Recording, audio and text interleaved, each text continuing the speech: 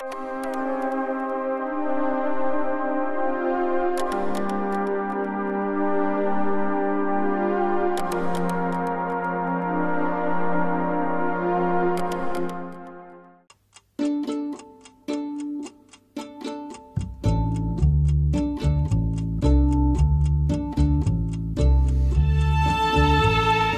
Trzeciego lipca w godzinach od 10 do 14 w siedzibie Archiwum Państwowego w Kielcach odbędzie się spotkanie ze źródłem archiwalnym e, Społeczność Żydowska w Małopolsce.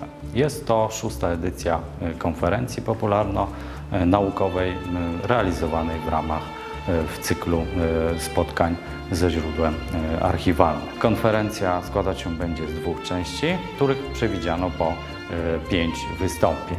E, Moderatorem pierwszej części e, konferencji będzie dr Edyta Majcher-Ociesa z Instytutu Historii Uniwersytetu Jana Kochanowskiego w Kielcach.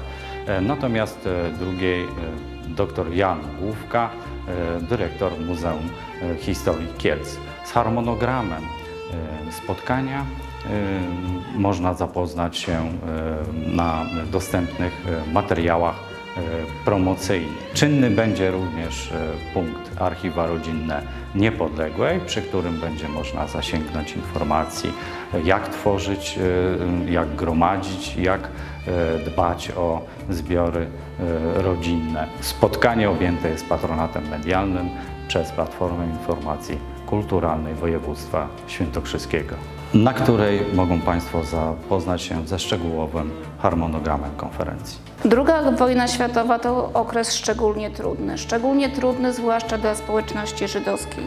Holokaust, ta nazwa odmieniana przez różne przypadki, definiuje okres II wojny światowej. Ale nie tylko Holokaust, ale także pomoc Żydom. I o tej pomocy będę mówić na następnym spotkaniu ze źródłem archiwalnym. Rola zakonów, gdyż zakony, zwłaszcza zakony żeńskie, odegrały bardzo znaczącą rolę w ratowaniu Żydów, zwłaszcza żydowskich dzieci. Zakon w Klimontowie, sierocińce, domy pomocy to te miejsca, gdzie znajdowały schronienie żydowskie dzieci. Zwłaszcza dziewczynki, je było łatwiej ukryć, ale także chłopcy, które, którzy również znajdowali się pod opieką zakonnic. Zakonnice dawały jeść, zakonnice dawały schronienie, uczyły pacierza, by dzieci żydowskie mogły znaleźć tutaj schronienie. Brały również odpowiedzialność za nie, ale także za dzieci polskie, bo za ukrywanie Żyda groziło kara śmierci. Ta kara była bezwzględnie y, przez Niemców dokonywana, więc musiały wiedzieć, jak ważną rolę i jak wielką odpowiedzialność biorą na siebie. Odpowiedzialność za życie swoje i swoich podopiecznych. O tym właśnie będzie moje wystąpienie na spotkaniu ze źródłem archiwalnym już w lipcu. Żyją wśród nas od ponad tysiąca lat. Żyjąc w diasporze, pozbawieni własnej ojczyzny, znaleźli nową w Polsce i stali się integralną częścią jej krajobrazu kulturowego. Przez setki lat byli niezastąpieni, doceniani przez najmądrzejszych władców polskich, takich jak Kazimierz Wielki albo Mieszko Stary. Bywało też, że byli traktowani jako obywatele drugiej kategorii. Starozakonni, Żydzi. Pierwsze i większe społeczności powstały w Polsce ponad 800 lat temu. Stali się naszymi sąsiadami i w tej samej co Polacy ziemi grzebali swoich zmarłych. Około 90 lat temu powstała i ruszyła po władzę ideologia tak agresywna, tak pełna nienawiści, że rozpętała burzę na trzy kontynenty. Nazistowska nawałnica porwała Żydów z naszego sąsiedztwa i zagnała ich do obozów śmierci. Zginęły miliony, prawdopodobnie około 90% społeczności.